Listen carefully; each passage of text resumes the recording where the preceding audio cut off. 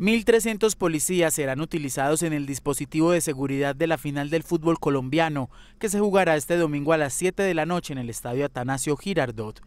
En la ciudad opera el llamado cierre de fronteras, que prohíbe la llegada de hinchas del Deportivo Cali.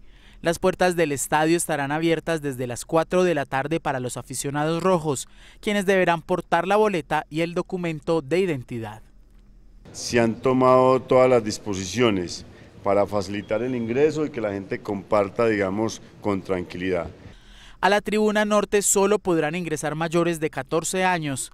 A sur, oriental y occidental lo podrán hacer desde los 5 años acompañados por un adulto.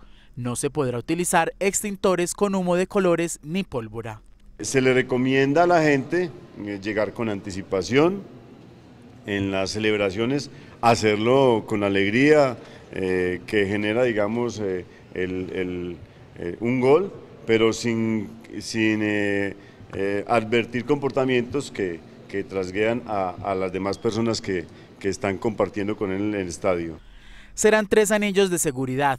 Fue prohibida la venta de licor en el perímetro interno del estadio entre las calles 47D y 50 y las carreras 70 y 76, entre las 6 de la mañana de este domingo y hasta dos horas después de terminado el partido.